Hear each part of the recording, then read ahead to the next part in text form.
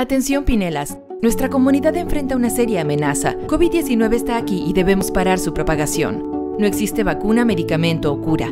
Solo tenemos una herramienta para desacelerar este virus, distanciamiento social.